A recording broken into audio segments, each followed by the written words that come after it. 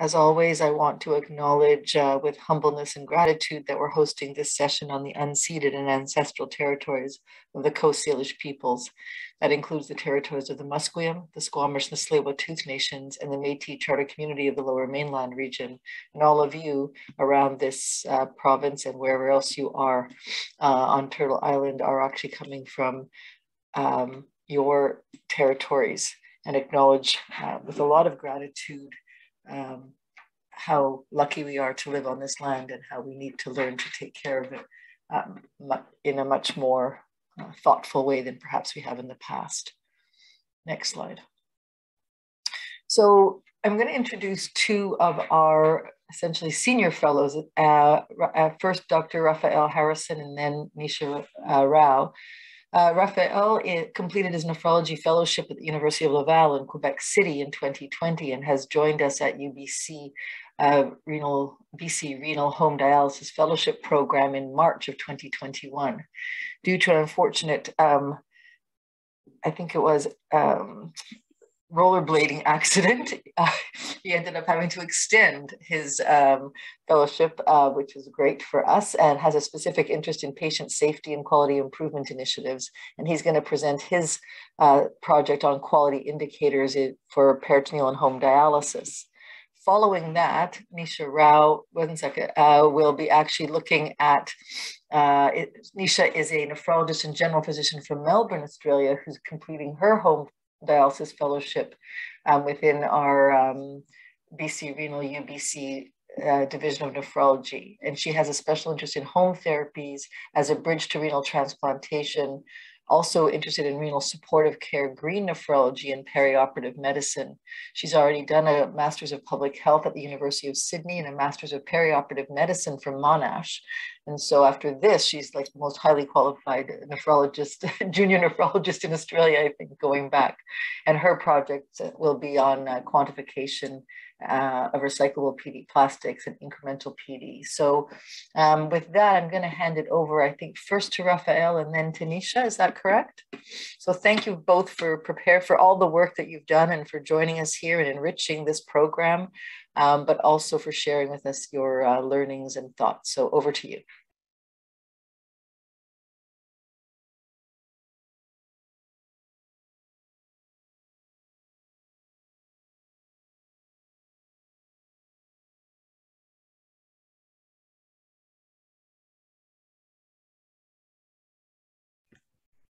You're on mute, just FYI.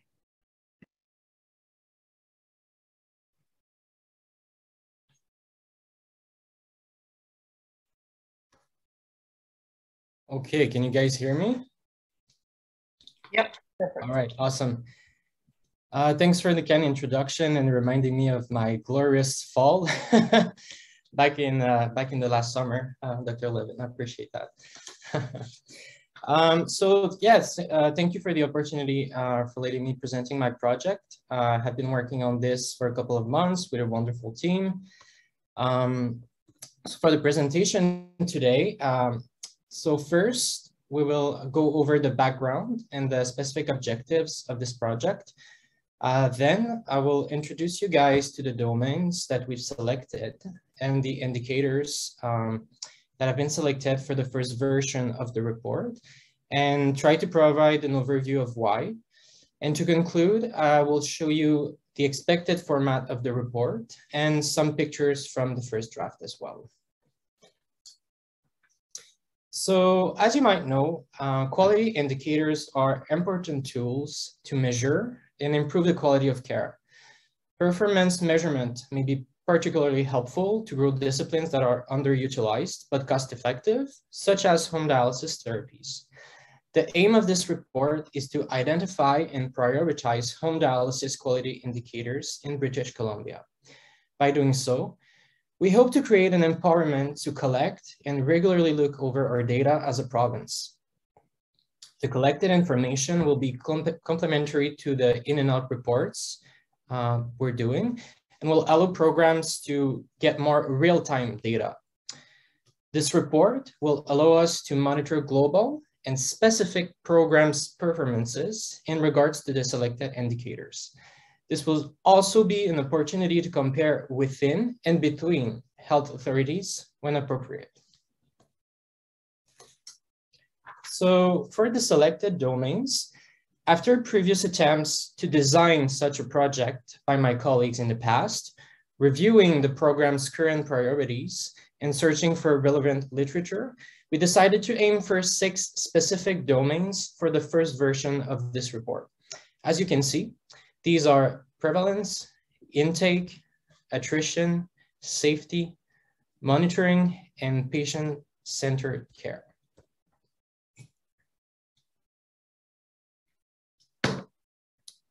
So we'll start first with the peritoneal dialysis selected indicators.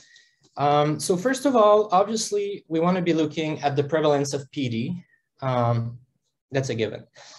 For intake, uh, we'll collect data on the incidence, the percentage of patients with PD catheter inserted for the first time who started PD within three months of insertion, as well as where the patients are coming from and within what time frame.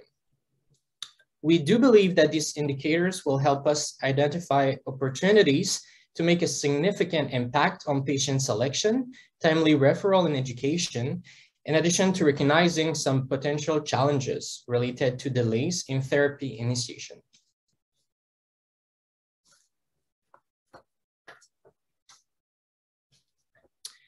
Looking at attrition numbers and especially specific reasons could help identify barriers to sustainable PD with a focus on modifiable factors. We want to look at the, the attrition rate at six months, 12 months, and then further categorize if possible. For safety, um, following the peritonitis rate over time is very important clinically, and all centers should always be working to continuously improve their peritonitis rates.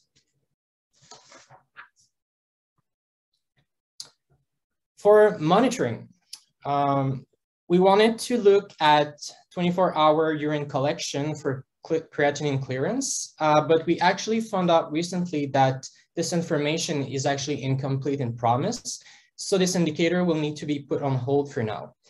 Otherwise, we will examine the percentage of patients with hemoglobin measurements outside of our usual target, uh, and we chose between 95 and 115. We also felt that it was important to include indicators that were related to patient-centered care and that reflect equitable access to home therapies. To do so, we decided to look at data on the proportion of patients who chose PD and actually started on this preferred modality at dialysis initiation and within the first three months of chronic renal replacement therapy. For the distance indicator that you can see uh, at the bottom here, um, we are still figuring out the best way to process the data and present it. Uh, so it will likely not be a part of the first version. Uh, we need to find a tool to actually calculate distance and also make sure that all postal codes are actually registered properly in PROMIS, as most of this information is actually drawn from PROMIS. Now let's switch to home hemodialysis. Um, so as you will notice, uh, most of them are similar. Obviously, once again, prevalence numbers will be included. Um, for intake, uh, we will take a look at various indicators. First of all, we will follow the incidence of home hemodialysis and the percentage of patients who started training coming from KCC, in-center HD or community dialysis units, and transplant. This will provide us with valuable information to make sure timely referrals, patient education, as well as selection are done and maybe contribute to identify some modifiable barriers to home HD. We want to also take a look at median wait time overall and median time from in-center HD to home HD training to potentially once again identify delays towards consideration and referral to this program. Other specific indicators related to training will include the percentage of patients successfully transitioning to home after training, the median training time, and the vascular access used during home HD training. For the domains of attrition, monitoring and patient-centered care, we have similar indicators as you can see. So for attrition, once again, at six months, at, at 12 months, and try to further categorize if possible. For monitoring, the same hemoglobin targets. And for patient-centered care, choice versus actual, and the distance will be on hold as well for now. I will now show you some pictures and provide more information on the report itself. Um, so this report will actually be HTML based and hosted on PROMIS. As of right now, we only have preliminary data uh, and we are still in the testing phase of development. So as you can see, uh, we have our selected domains on top as tabs that you can click. And each tab uh, will actually grant you access to the indicators you would like to review. This main page um, will also be showing relevant data for our indicators in a list format and will allow a quick look to compare each health authority to BC overall and between themselves. So like I said, each tab will actually allow you to access the specific data within each domain. So there is an example for prevalence of PD over time. So as shown, you can see that you have the data for BC as a red line and each health authority will be represented with its own color.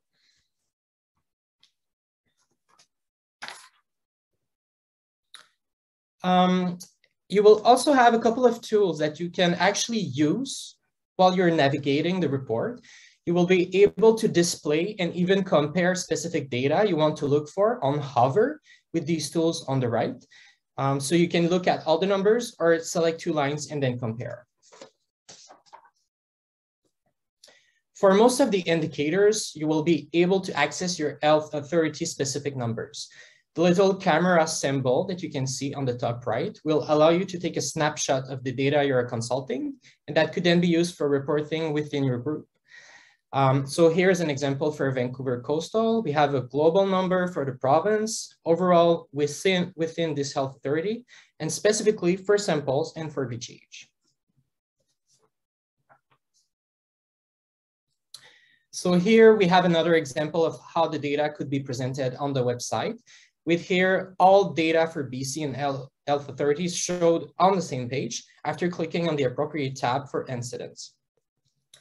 So to finish up, we are currently in the phase of actually collecting the data and computing it into the database, as well as working on the functionality of the report, as well as its layout. We are hopeful for the first version of the report to be published during the summer of 2022, but there is some possibility of delays uh, up until September, October, but for now, we're still hopeful. So as a few last words, uh, I want to thank everyone who was involved uh, in my team for that project. Um, and thank you for joining us this morning. And I'll, I'll, be happy to hear any questions or comments. Uh, I think for the time being, we're going to defer live questions at the end of the talk after Nisha's done. But that being said, if you want to send me an email or if you want to ask a question in the chat, I'll be happy to, to answer them. Thank you. Thanks, Raphael. On to you, Nisha, and then we'll go from there. Share my screen. Um, can you guys see that at the moment? Yes, perfect. Okay, perfect. Um, so thank you again for the opportunity to talk today. I'll be talking about two projects I did, one with, um, oh, I can't advance my slides. Okay.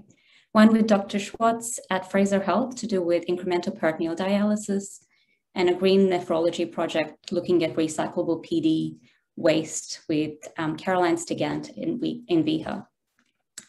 So I'm going to start with the incremental peritoneal dialysis project. Um, start by actually defining what incremental peritoneal dialysis is. So it is the practice of initiating peritoneal dialysis with less than four exchanges per day, considering your patient's residual kidney reserve, with the view to actually increase the prescription once the kidney function declines further. It does not mean we start peritoneal dialysis earlier than planned. We start incremental PD at the same time as you would start someone on full dose peritoneal dialysis. When you look at the literature, there is no standard definition on what incremental peritoneal dialysis is in terms of a prescription. However, this paper by Blakey et al. that was published in PDI in 2020 has this table that sort of shows you what incremental peritoneal dialysis could look like. And as you can see, the, the prescription is quite variable. However, in essence, it is starting peritoneal dialysis at less than full dose, keeping into account your patient's residual kidney reserve. So in a suitable patient, it could mean that they fill at night, sleep whilst the peritoneal dialysis dwell, and drain in the morning with one exchange a day to begin their dialysis journey. It gives our patients time to get accustomed to a new therapy and a new way of life with end stage kidney disease. I'd like to remind everyone the goals of PD. The ISPD guidelines have now revised their goals to give goal-directed peritoneal dialysis with individualized PD targets, which means that we provide peritoneal dialysis that is required to keep a pers person well. With that in mind, incremental peritoneal dialysis has three requirements. Providing an initial prescription that is less than full dose, the initial prescription does not by itself meet the clearance goals, but when combined with your residual kidney reserve, you achieve your clearance goals. And there is an intention to increase peritoneal dialysis as the kidney function declines. So this is a pictorial format of the same concept, essentially saying that when your kidney function declines in time, your peritoneal dialysis prescription will increase. Because of this, it is actually paramount that we discuss with our patients and be upfront with them explaining to them that when they start this kind of therapy, in time, when their kidney function declines, they will need a bigger dose of peritoneal dialysis. As you can see in this single center retrospective study, they experienced the same thing, which we expect. Dialysate volumes increased from 4.5 to 8 liters at five years, and 32.6% of patients in this study graduated to full dose peritoneal dialysis at about 10 months. The risk factors to go to full dose PD within one year was male, higher BMI, and lower serum al albumin. So that paper in PDI recommends the following um, for monitoring your patients on incremental PD. So review of prescription every three months or earlier if your patients have unexplained symptoms, review volume status and labs every month, and 24 hour urine collections for your normal adequate calculations. And we need to aim to increase the prescription once kidney function declines. This is not out of the standard of care for our patients. Our patients get monthly labs. We see them three monthly in clinic. So we're not actually asking patients who commence peritoneal, incremental peritoneal dialysis to do more. They're doing what is the standard of care for our patients already. So, what are the advantages? The most attractive one is the first one. You offer them a less onerous initial prescription. So, essentially, you give them time to get accustomed to a dialysis therapy and master that therapy. There is some evidence that it leads to preservation of residual kidney reserve as well. And there is a theoretical benefit of preservation of membrane with less glucose exposure, less mechanical complications, theoretical risk of lower peritonitis rates because of lesser connections, and the added benefit of saving healthcare dollars without actually compromising patient care. When you look at this paper at, um, that was published in PDI, uh, the same paper that I mentioned before, it's an excellent read if you haven't had a read already, but I'll draw your attention to the last of the summary statements, which essentially says that there is some evidence to suggest that incremental peritoneal dialysis is as good as full dose peritoneal dialysis, and we actually don't cause harm with this type of treatment. So if you're starting your patient in the right patient, incremental peritoneal dialysis will not cause harm to your patient. When you look at this study by Lee et al., they looked, it was a single center retrospective study in Seoul, and they looked at 175 incremental peritoneal dialysis patient, compared them to full dose. The exclusion criteria is listed there. So their primary aim was time to anuria. Their secondary outcomes, they looked at peritonitis, technique failure, and all-cause mortality. When you look at the time to anuria, incremental PD, as you can see here with this graph, exhibited a lower risk of developing anuria. And when they looked further at independent predictors, younger age and history of transplantation were also predictors of longer time to anuria. So in essence, incremental peritoneal dialysis in this study showed that it was beneficial in preserving kidney reserve. When you looked at patient survival, technique-free survival, and peritonitis-free survival, in this study, there was no difference between the two groups. So with all that in mind, we looked at this QI project at Fraser Health. So we wanted to study if offering incremental peritoneal dialysis in the right population in Fraser could lead to more patients choosing peritoneal dialysis and to study if the availability of this as a modality choice increased the overall number of patients on peritoneal dialysis. We also wanted to look at the number of patients that were previously planned for peritoneal dialysis um, to see if they crashed onto hemo and if we could reduce that numbers. And we wanted to study if incremental PD would lead to greater preservation of residual kidney function. Unfortunately, with the last subpoint, we were unable to collect data to present today for that. For the purposes of the analysis, we used the de definition that incremental PD would be anyone that had three or less exchanges per day. So the QI audit, it's observational study, and we used educational material in the form of PowerPoint pre presentations, which was given by the nephrology fellow that was myself, um, to all the peritoneal dialysis patient care coordinators at the three sites being Surrey, Abbotsford, and Royal Columbian, uh, and to the KCC nurses over the periods of April to mid-May 2021. We also looked at the KCC slide deck and made one change for the three sites because when we were speaking to staff and patients, most people found this bit a little bit daunting, done during the day, four exchanges per day. It just felt a bit too much for patients without actually understanding the therapy.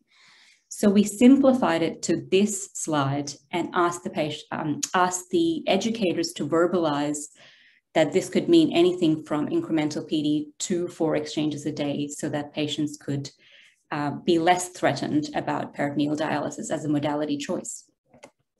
We collected data uh, from November 2020 to mid-May 2021 as the pre-intervention period and May, mid-May 2021 to November 2021 as the post-intervention period.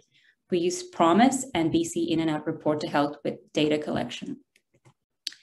So what did we find? When we looked at just the raw numbers, in the pre-intervention period at Fraser, there were 73 patients that were commenced on peritoneal dialysis. This went up to 93 patients post-intervention, which was a 27% increase. When you actually look at the incidence coming from KCC, we again found an increase. So 29% of patients were on peritoneal dialysis pre-intervention. This increased to 36% post-educational intervention. And then we went to stratify to see if incremental peritoneal dialysis specifically made a difference in these numbers. And pleasingly, it did. So 12.3% of patients were on incremental PD already pre-intervention, and that jumped to 25.81%. When you look at the referrals from KCC specifically, most of our referrals obviously came from there. So 54 of 73 referrals um, for peritoneal dialysis pre-intervention was from KCC, and 69 out of the 93 in the post-intervention were from KCC. And the green tabs are incremental peritoneal dialysis. So again, the numbers went up from 12.9% to about 29% post-intervention period. We then looked at referrals for peritoneal dialysis from in-center hemo. And interestingly, the numbers here also went up. So if you look at the green tabs, went up from 7.6% to about 15%. And this finding is interesting because we didn't actually um, target our education to the hemo staff. And it will be interesting to look at at a later stage if these patients were patients that were previously planned for um, peritoneal dialysis and crashed onto hemo. When we looked at peritoneal dialysis referrals from community hemodialysis, again, there was a percentage increase in numbers. However, these numbers are very, very small and need to be examined with caution. We then looked at specific sites to see if one site was contributing more or doing better than the others. And pleasingly, all three sites, Abbotsford, Royal Columbian, and Surrey, the incremental PD numbers went up in all sites. So 10 to 22% in Abbotsford, 13 to 20% in RCH, and 12.5 to 37.5% at Surrey. So a bigger increase in Surrey. And pleasingly, there was no significant change in EGFR at the start of dialysis in the pre and post intervention period, which is in line with what's recommended for incremental PD starts. Lastly, we looked at chronic starts from KCC, so patients who chose peritoneal dialysis but were started on hemodialysis. Pleasingly, this number dropped, so dropped from 27.4% to 21.3%. So we were able to retain more people onto peritoneal dialysis who chose peritoneal dialysis to begin with. Obviously, this study has a lot of limitations. It was an observational audit, very small numbers, and in few cases, we had nephrology and clinician pu pushback to uh, incorporate incremental PD in the units.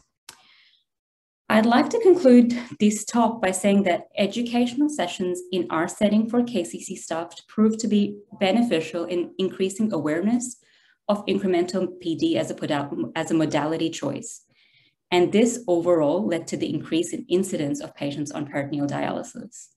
We found that patients who chose peritoneal dialysis at KCC were more likely to stay on peritoneal dialysis in the post-intervention period. So where to from here? It will be nice to be able to incorporate incremental peritoneal dialysis uh, teaching to KCC staff and staff in general in more sites. And it'll be important to actually collect more objective data from patients to understand if actually having incremental peritoneal dialysis as a modality choice played a role in their overall decision-making process in choosing peritoneal dialysis. And with that, I'd like to acknowledge Daniel Schwartz, Ruth Burns, and everyone in the home dialysis sites at Fraser Health to help with this project. Um, I will now move on to my next talk, which is quite dear to my heart, and it is to do with green nephrology.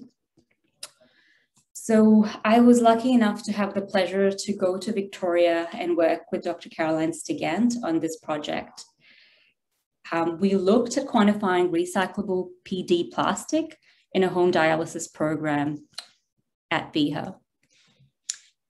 As you all know, a climate emergency has been declared in Canada, and this is a significant healthcare issue.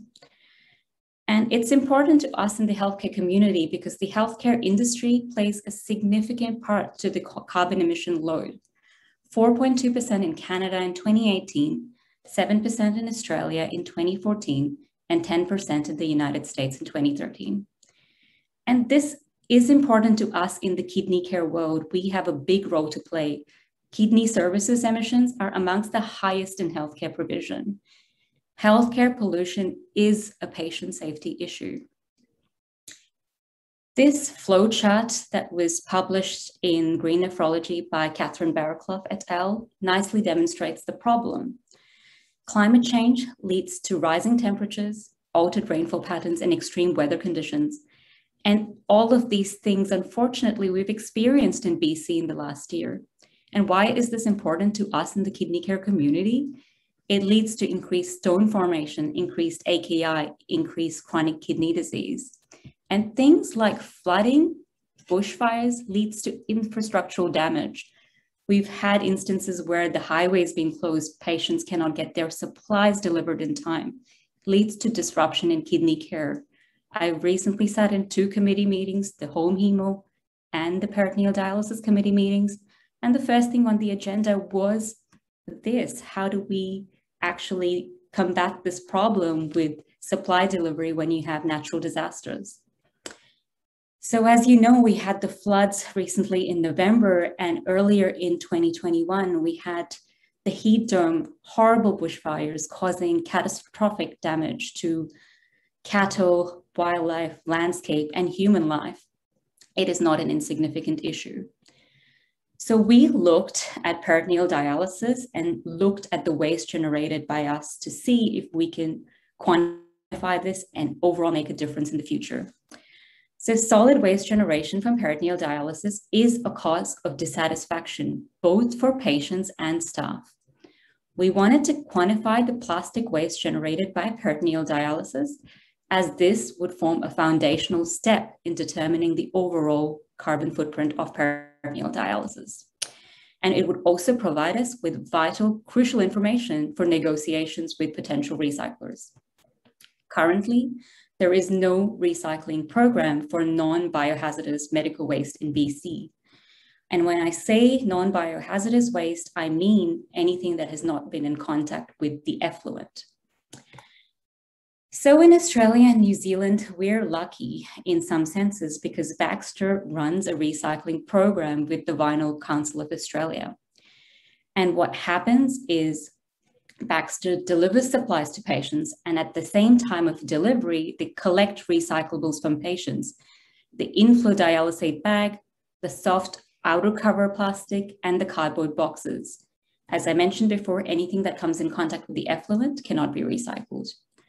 The Vinyl Council of Australia then sends these uh, products to recycling sites where they are washed and granulated, and then they form materials with that like playmats, hoses, etc., which is used again in the community.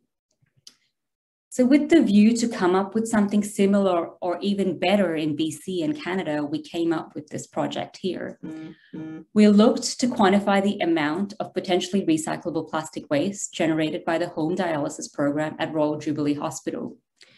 We wanted to look at the outer cover bags, that's the polypropylene plastic, and the inflow dialysate bags, which is the polyvinyl chloride plastic.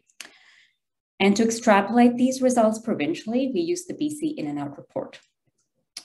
So medical records were used to determine individual PD prescriptions.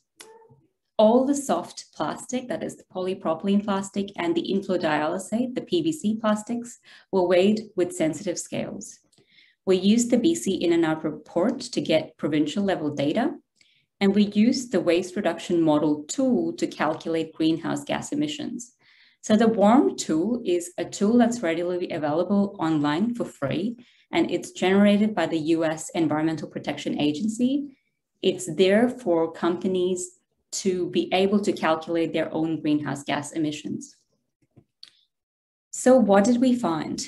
So at, in the Royal Jubilee Hospital in September of 2021, 19, oh, sorry, 19% of patients were on CAPD, and the remainder of the patients were on CCPD, 51% on the home choice, 30% on the AMIA.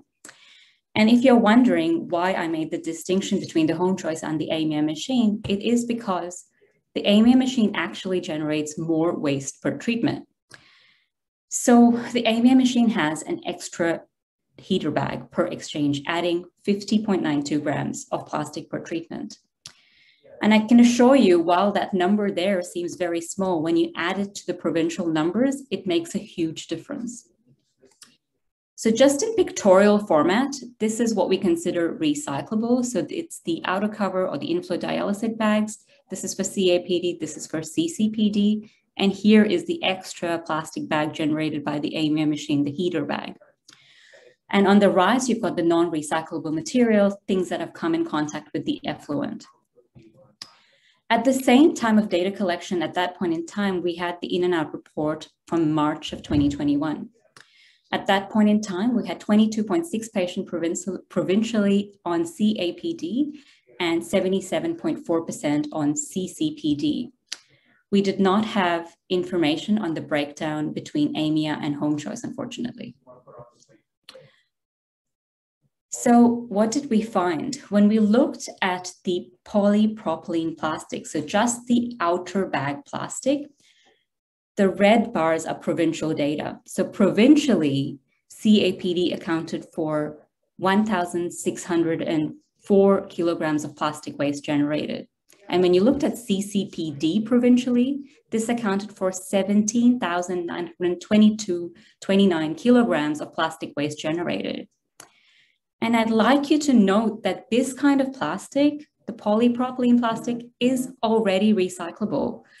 This is a screenshot at BC just from this website that shows you the places that you can recycle polypropylene plastic. So our patients, our staff, our hospitals can drop our polypropylene waste in these areas to recycle their plastic waste. However, our patients are not all robust. Some of them are frail, vulnerable. We need to take leadership on this and actually help them navigate the recycling system and hopefully come up with a way to do this for our patients in the future. When we looked at the PVC recyclable waste, the numbers were even higher. So when you look at CAPD, this accounted for 6,448 kilograms worth of plastic per year. That is equal to 4.6 Toyota Prius cars. And when you look at that for CCPD, the number is huge, 70,548 kilograms worth of plastic waste.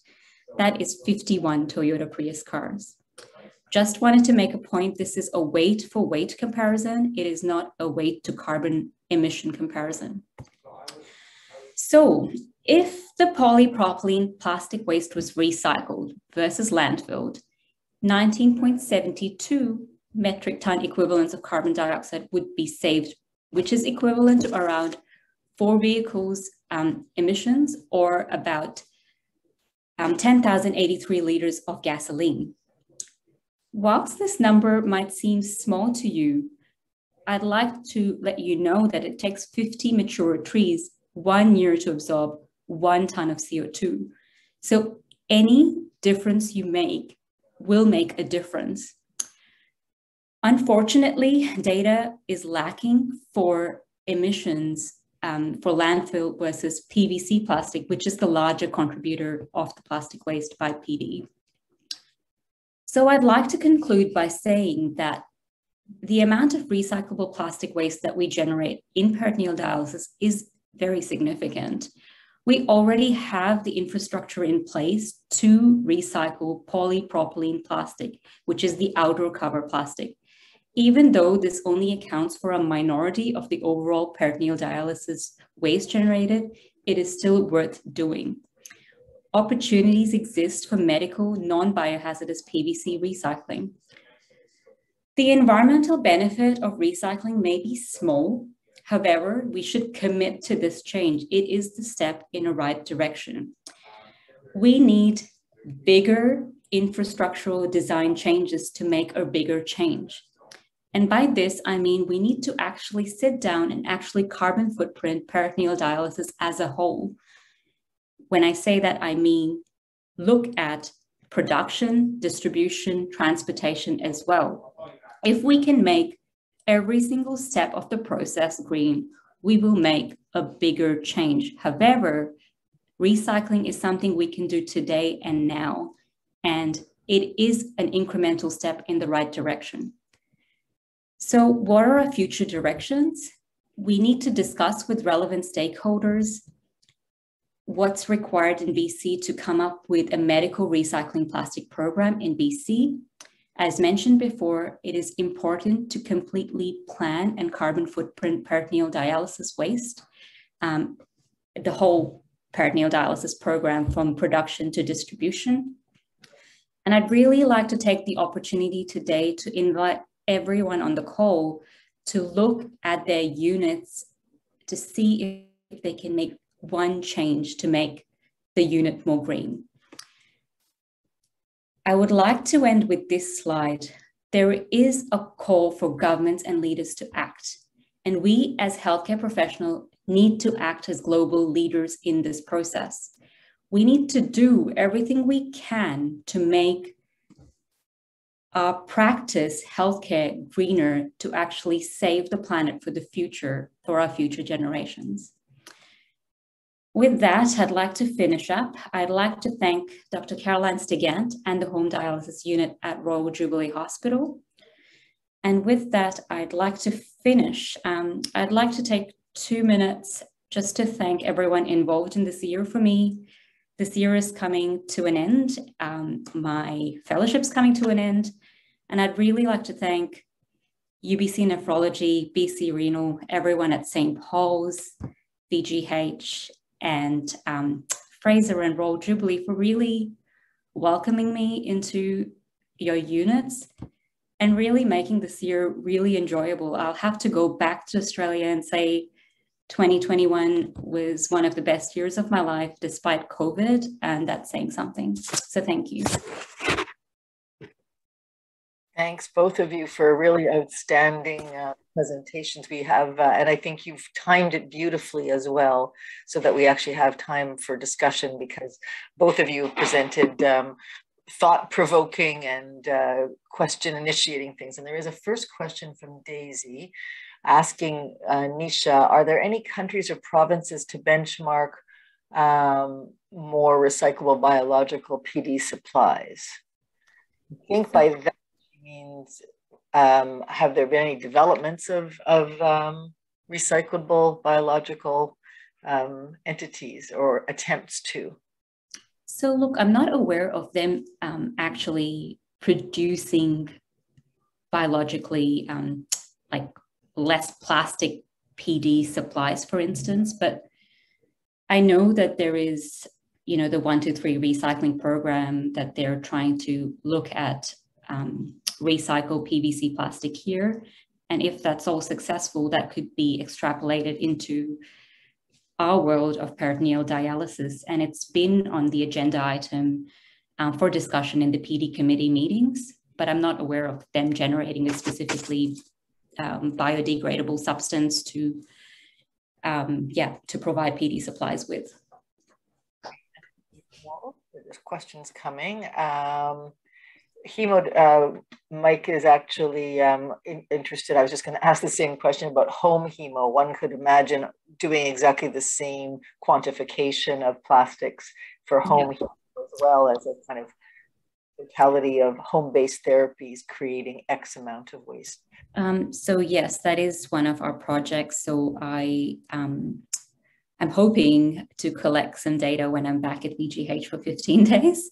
Um, I started collecting some data already on the NxStage machine plastic waste generated, and we're hoping to get similar data in the home hemo population. Great. Please uh, do enter your questions uh, in the chat box. If you don't like using the chat box, if you raise your hand, Brenda will unmute you. Um, Raphael, I'll ask, um, that's probably one of the most extensive quality indicator reports I've seen for, and also beautifully visualized. So um, I'm anticipating a nice publication describing both the value of the exercise as well as the value of that going forward. Do you see any opportunity perhaps to collaborate when you go back to Montreal and adopt or adapt something like this? What are your thoughts? Uh, yeah, absolutely. Uh, I, I, think a publication is coming up for sure. Uh, I've learned a lot uh, just doing the process of actually designing indicators, reading the literature. Um, so that was, uh, yeah, that was really interesting and valuable information just for me as a phys physician, uh, of course. Um, yeah, and I mean, I, I gotta say that historically we haven't been doing too well in Quebec to register our data in the kidney world. so that could be actually um, one step to do better. Um, and definitely this is in the, I, am keeping this uh, in the, on the back burner for, for when I go back for sure. Thanks for the question. Terrific. And there's a, a question about whether um, BC as a community or BC Renal can advocate for patients to have government plastic pickup programs for dialysis patients. So I am not sure that there is one, but it would be great to have one. Um, because, you know, things like, as I was saying, the outer cover plastics actually already recyclable. And if there was a way to navigate through that, because that's really not contaminated at all, there is no um, effluent in there. So it would be nice to come up with a program. Great. Um, Dave Prakal has his hand up. So if you, uh, there you go, Dave, you can speak now. Hi, Nisha. Thanks. Uh... Oh. You, oh. we can't, we can't oh. hear you anymore. okay, there he goes. There you go back, Dave. Oops, unmute. Unmute. Oh, there you are. There we go. There you go. Thanks. Thanks, Anisha and Raphael, both really excellent presentations. And uh, uh, thank you for uh, being with us for the last year. Anisha, I have a, a question for you. Uh, I, I actually, I thought your comment about how uncomfortable um, PD supplies make us all feel uh, in the unit is actually a really valid one. I think we've all felt quite uncomfortable with how much plastic byproducts uh, we utilize on a day-to-day basis. Um, the, the, the challenge that we have often is very jurisdictional dependent. You know, for example, in Vancouver, plastics are not actually recyclable at home, and it, it's a it's a laborious uh, thing to do where I collect my plastics and drive them to a specific plastic recycling center every so often. And so I would find that that would be quite challenging for patients uh, as well. Your comment about Baxter actually taking a bit of a lead on this in Australia is interesting. Um, what about corporate responsibility of Baxter to actually try to institute something uh, here in British Columbia? Um, so I'll have to let Sue, etc., chip in because they have um, sort of put this on the table on the PD committee discussions with Baxter. But I'm not sure much has come of that just yet, but it's a work in progress. And, you know, ideally, one of the main issues is it's not just the supplier, you also need like someone to be able to recycle the product, right? So I think you need a collaborative effort, effort with two um, two areas, and I'm not sure that's happened just yet, but it, it is a work in progress, and hopefully, you know, when I come back here someday, if you have an amazing recycling program, and you know, like the, there's heaps to learn either way. You're Like I'm hoping to go back and I don't know if they've already recycled, started recycling masks, but we're doing it here. So I'm hoping if they're not doing that, to take that back with me. We have a few more questions. Uh, Caroline Stigant a bead and then Mike. Good morning. Can everyone hear me? Yes. Yeah, thanks uh, also to Raphael and um, and Nisha. Um, if anyone hasn't checked out Nisha's blog with her time in uh, Canada, it's a, it's a fun read. So thanks for the shout outs to Victoria. And uh, it was great having you here. Um, I guess just the big scope view, Nisha, was my reflection on how your two projects mesh really nicely.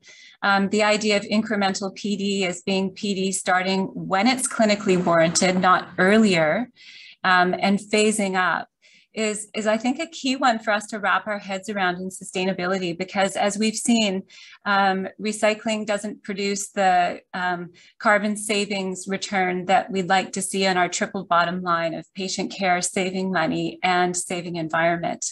So I think these kinds of initiatives, initiatives with novel clinical pathways are the sort of things that those editorialists were calling out for. And Dave, I love your comments and your enthusiasm about wanting to be involved and share your call, Nisha, for everybody to think about how we can do better. And that includes novel clinical pathways that can reduce the inputs that are required. I, I might propose as well, something that I used to think was really taboo was um, an in, incremental dialysis prescription at the other end. You know, perhaps as people lose some weight or we're thinking about them sort of in, a, in an end later stage in their disease or dialysis process, that we could think of incremental as a potential scaling down um, as well as scaling up. So obviously that's not universally appropriate, but just carrying the thought further on the incremental front. Um, shifting, uh, there was a question about recyclable um, supplies uh, in general. Um, I'm aware that one company uh, makes a um, PVC free plastic um, and they're looking at making a more sort of, uh, it's called biofine um, solution. So, um, and there's, I actually was contacted, I think now that I wear the SNAP uh, hat, your, your name gets out and there's a manufacturer looking at making um, fully biocompatible, biodegradable um, plastic products for dialysis. Um, obviously, it's in the early stages of development, but they do have plastics that are made from basically seaweed and wood fiber. So seaweed makes alginate um, and wood fiber makes cellulose. So it's an alginate cellulose plastic. Um, so there's all sorts of, um, of novel things uh, that I think we need to look at. Um, thanks to Mike for mentioning the quantification of the home hemoplastics. That's certainly on our agenda. And yeah, hopefully, Nisha, um, that's, uh, that's possible to do. Um, and the final thing I wanted to mention was that um, plastic recycling, um, as I'm learning, talking to all sorts of people in this area, it's a business. Um, and we think of it as a perhaps an extension of a service within healthcare, but we have to think about it a bit differently.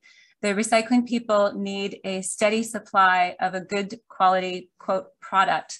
Um, and so I think something like this, where there's a highly trained patient population and potentially a single deliverer of these materials, i.e. Baxter, um, is really ripe for taking. And I think Baxter would need to have initiative to speak with the similar vinyl council within Canada um, and hopefully establish a Canadian-wide um, network here. And this is something that we're going to be looking at at the national level um, in SNAP as well. Great, thanks, Carolyn. There's two more people that want to, and there's also a couple of um, questions in the chat. I just wanted to comment on uh, just before Abid and Mike. So one is, um, think one is to think about blood work as another dispose another way of quantifying things and i know sunita's had an interest over time about how much blood work do you really need in, especially in pd or chronic patients after they've been established on a chronic thing. So that might be another addition to that. Um, and that pd dops is looking at generating projects for incremental and decremental pd and Raphael, just thinking also whether or not incremental or, or decremental PD could be another one of the um, of the um, indicators, right? Proportion of patients on starting with incremental or start or on decremental and um, recycling, right? So then you have an environmental metric as well as a patient-centered increment decrement. So that would be interesting to think about adding. Um, I'd just like to add like that in like that inclusion would make data collection as well really um, a lot easier. So it would be very useful if that could be incorporated. Capture it. It would be it would be good. We think of a, a robust way to capture it, um, and then a robust way to say recycling program. Yes, no. You know, just a mm -hmm. simple. Are you recycling the plastic that you can? Yes, no, and that would be a good way to start. Um, but uh, interesting. Thank you, Abid, and then Mike. Um, thanks very much, guys. Um, so, uh, lest I sound negative, because I'm not negative about incremental PD at all, but Nisha, I was just wondering if you thought there was any impact from COVID on the apparent uptake in numbers uh, when you looked at incremental PD. So, I know certainly when COVID hit, we transitioned a lot of people here at St. Paul's to PD. Now, it didn't last for us, but I'm curious to know if you thought that that might have had an impact or if you were able to look at that impact in terms of the rates when you transitioned to incremental. I don't think we specifically looked at, I mean, it's a bit hard to know if people chose, because we, it would be nice to actually do a patient survey to see how much COVID had a part to play and how much incremental PD as a modality choice had a part to play in their decision to choose peritoneal dialysis. However, I don't think I can tell you a yes or a no to that question because we didn't we didn't do that. We didn't actually look at the patient choice reasons. Great, thanks, Mike. Uh, we're just at the bottom of the hour. Yeah, and I, I just wanted to uh, first of all thank the the both of you for really outstanding presentations today. I think uh, uh in a year, the amount of work you guys have been able to do is uh, not to be underestimated. So I really appreciate that. Um, I also wanted to take the opportunity, sort of as the program director for the home therapies, to really uh, acknowledge the work you guys have done for the province uh, and thank you for the time you've sent you've spent with us. Uh, I always get a little bit melancholy towards the end of the year as people are heading away, and uh, this year is no exception but I'm also encouraged. Uh, uh, again, we just are having more and more global relationships uh, that uh, are are maturing and fostering over time. So I, I want to uh, thank you guys for the work that you've done. And I actually wanted to also, I think this is the, the first time um, that I can recall the degree of collaboration around the province for, for some of the work the fellows have been doing for the home fellows in particular.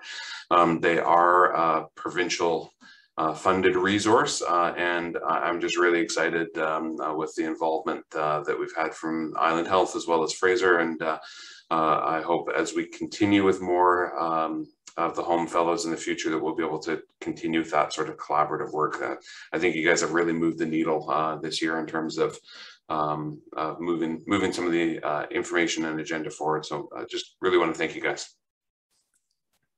Thank you. We've loved our time here. It's been great. Yeah, thank you, Dr. Copland. That, that's that's very nice. And I want to echo Nisha's words, obviously. Uh, for the past year I've been here, yeah, it was amazing to be here during the pandemic. Yes. Yeah. Anyways, with that, um, there's a three minutes left, but really, I mean, you've given us um, you know, a lot of things to think about, a lot of ways to improve our patient centeredness and environment centeredness at the same time, which is a pretty good win. Uh, and uh, echo the value of having both uh, uh national and international fellows uh, join us as a kidney community. Um, really enriches us uh, as a community and hopefully allows, as Mike says, ongoing uh, collaborations when you go home. So uh, it's not goodbye, but it's uh, au revoir to see you again. Thank you all. Thank you.